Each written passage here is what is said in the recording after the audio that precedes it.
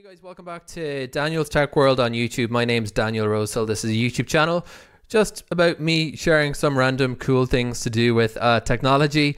And for this video, I'm going to sort of do a combination workflow between two uh, products, uh, two pieces of software that I love. One is Canva in the cloud, and I'm going to be showing how to make up a graphic for a video with a transparent background so that you can overlay that on top of video.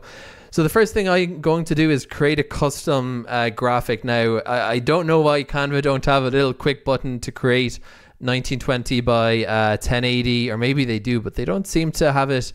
It's by default video. So what I do is just create um, a 1920 by 1080 canvas, and you want to obviously have the pixel size of your canvas matching your uh, output video resolution. So if it's a 4K video, you want to be doing uh, whatever 4K is. I can't remember it off the top of my head.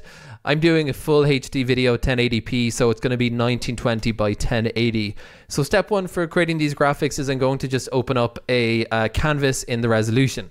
Now I'm going to do something super basic and geeky because, you know, this is a geeky tech channel.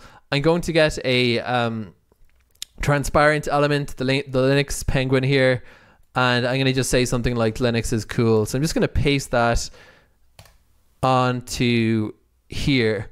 Now this is on transparency and this looks like it's white, but what we're going to do at the end is export as transparency. So I'm going to just kind of do a little sort of a lower third uh, element or just like a graphical element. I might do a little bit of a box here.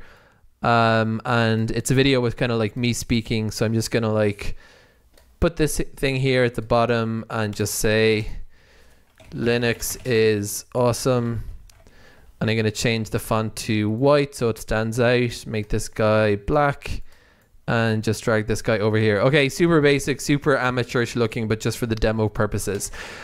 Now what you want to do is when you're going to click on share download and you by default this will is going to come out as a png 1920 by 1080 but there is the tick box for transparent background. And you need to be as the little king indicates here the king symbol you need to be a pro Canva user to do this, which I have. So I'm you can't do this on the free thing. And what this is going to do is basically just instead of white, this is going to put this out as transparency.